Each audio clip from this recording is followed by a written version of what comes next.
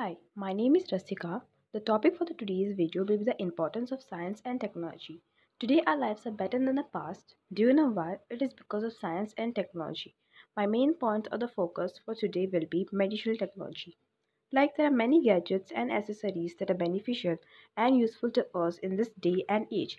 Transport and the link between science and technology and the future generation come after us. Public transport have become very easy to use with the application that you can download it on your smartphone. You can know exactly when a bus or train will arrive at your stop. So this is how technology is very useful in our daily lives. So that's all for today. Thank you.